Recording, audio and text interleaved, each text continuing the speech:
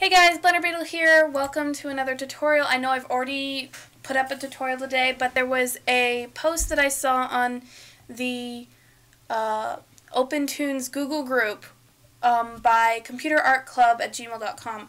Computer Art Club is a really awesome person who is currently teaching a group of middle middle school, no elementary school students how to use OpenToonz, and so I was really excited to keep watching what this guy is doing. And one of the things he said that was the problem was they couldn't use the Save All button um, because they had to save things in the OpenToonz folder, and they couldn't figure out how to move things to USB sticks. So I thought I would do a video real quick on a possible solution. I'm not sure exactly if this will work for everybody, but hopefully it will. So first thing you want to do is open up OpenToonz because you can't do anything without the program open. Now I'm going to make a new scene real quick. Um, make a new project, sorry. And I'm going to call this Bland, I guess. I don't know. And just name all my folders here and for I'm not exactly sure if this is what you mean by it, but I could not, um, for the life of me, figure out how to explain this in words. So I have I'm gonna make a video real quick showing what I'm talking about, and hopefully this helps. So I'm just gonna make a quick throwaway throwaway scene here. We're gonna call this version 001. And then let's say we wanna make another level just to show that it works for everything. So save all. So right now I have everything saved in the bland project folder in my project root folder. So I'm going to go show folder contents and if you'll notice the no nice thing about the way OpenToonz stuff works is you've got a folder and then everything is just folders with with uh, pictures in it. So we're going to just close this out here because we don't need it anymore. And I'm going to actually make a file on my desktop because I don't have a USB with me at the moment, but the concept is just the same. So we're going to call this we're going to call this USB. So in the USB, if we open up USB, you'll uh, you'll notice because we have a nice little folder over here, we can just drag and drop Bland into our USB. Now the one problem with this is when you open up OpenToonz again, we already know it's not in our project root folder.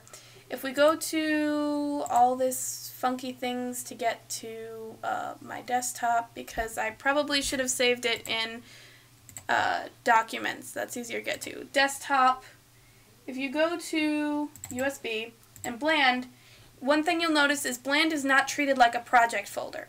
You're going to have levels in levels in here just fine. I think levels get saved. You'll have levels in here just fine, and you'll have scenes in here, but if you want to load the scene, it's going to ask you if you want to import. To fix that, upon startup, all you have to do, close this out real quick, is take USB and, oopsie, this screen, this uh, window is way too small. Take your USB, take Bland and just drag it straight back to projects. When you open up OpenToonz, it's going to be in the project folder right there, ready to use just the way that you have the whole time. So I'm not sure if this is exactly your problem, but if it is, that's the way to fix it. It's not going to be treated like a project when it's outside of your project folder, but every time you drag it back into your project folder, it'll be treated like a project no problems whatsoever. It loads scenes just fine. It saves scenes perfectly, and uh, your levels will also be saved just the way that it normally would work. Because of the way that the OpenToonz file system works, it's only going to recognize the, uh, the, there is a thing here called bland.opentoonz project, which has got all this stuff in here, and honestly, I don't know what all this stuff means. I'm not a programmer.